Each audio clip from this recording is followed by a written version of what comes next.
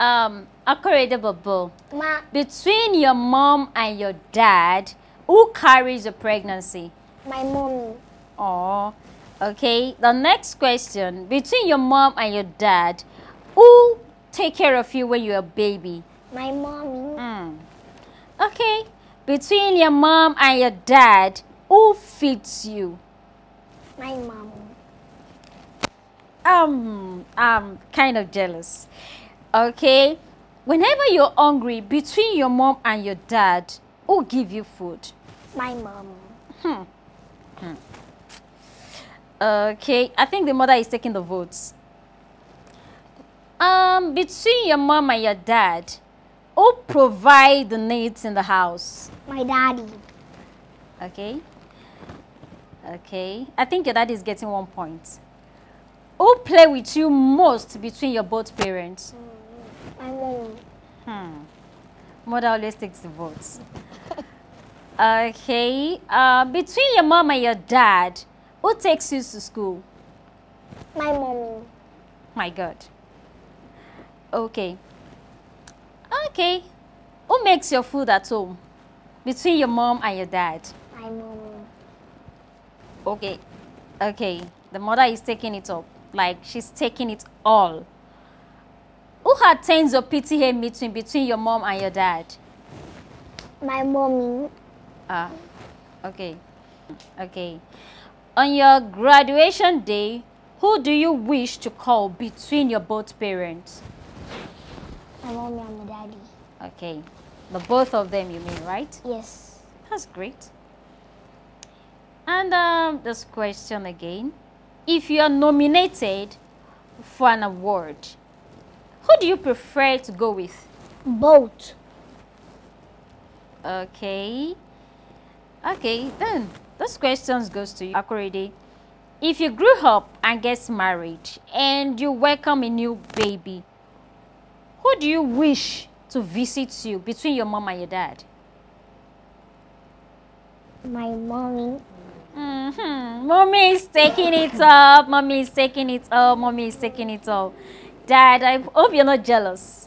Like, women are taking it. I'm sorry, Daddy Korede. I hope you're not jealous. Really. Okay.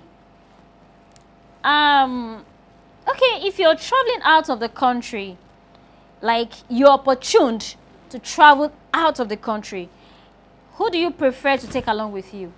My mommy. My goodness!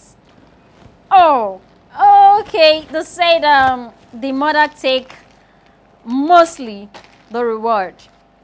Daddy Korede, Yeah, how you feeling? How do you feel about all this whole thing? I'm fine. Are you sure about this? Right? Okay. Mommy Korede, Yeah. I see you're blushing. You're Yeah. happy. Mm. Oh my goodness. okay. Now the last but not the least question, Akorede Bobo. When it comes to an old age, and um, I mean, your mom is a grandma and your dad a grandpa, like an old age, who do you want God to take away first?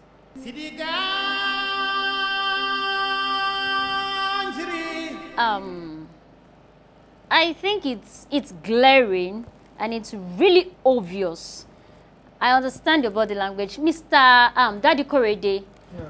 you don't have to give that body language to your son it's all glaring that um there's no affection between the both of you see, it's not about you providing for the home. It's not about you giving them a lot of money they want. Those kids, they study, they read everything.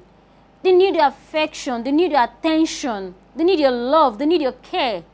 It's not just you dropping the money, providing for the house, like, okay, fine, they wants to eat, there is food, there is everything. But then there is, they, they need this love as a father. They need their father companionship.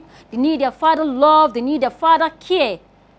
Please, you, you, you. It's, it's so glaring. It's, it's. I can see it all over him. You don't have to. You don't have to give him the body language. You, you can still make amendments, sir. You can still make amendments. There is the time to make amendments. You don't give all the works to the woman. I mean, we women, we truly we love our kids. We show them love. But need their father too. They need you. Everything goes to the mother. I was even like the mother is taking the votes.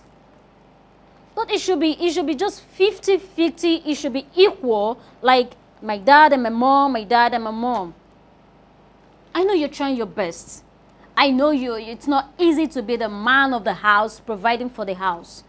But then I'm sorry, you need your kids' love. And they need your love as well.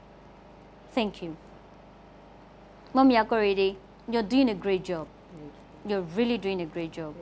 Because it's obvious and uh, it's, it's something we don't have to say or ask question about. It's, it's glaring.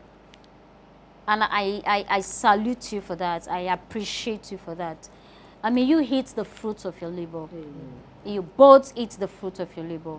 But at your career, day, you have a great work to do. You can see how many, there's the time. You see those kids, they read, they study, they know, they are sensitive. Please.